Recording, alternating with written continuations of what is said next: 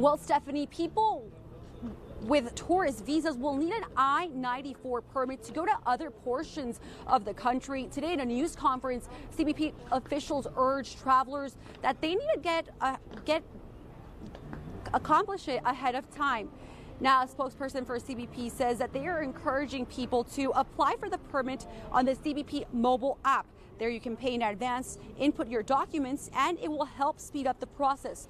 Once travelers get everything done on the app, they need to present it at the station or go to one of the designated I-94 windows where, where it will be processed and there they will receive the actual document.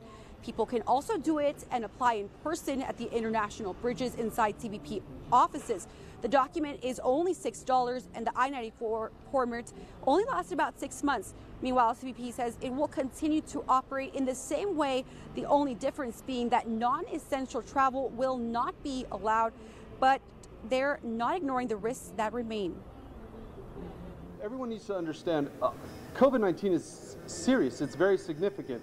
Unfortunately, we've lost some of our officers and some of our patrol agents and other employees to COVID-19. We take this very seriously, and our officers out there on the front line work hard to ensure to address and minimize all those potential threats. But COVID-19 is not the only thing that we're always working on day to day.